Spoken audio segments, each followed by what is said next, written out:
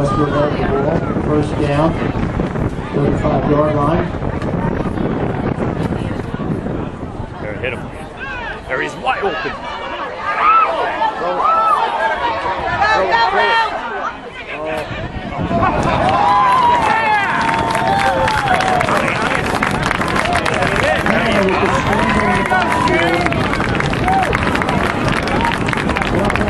Thank you.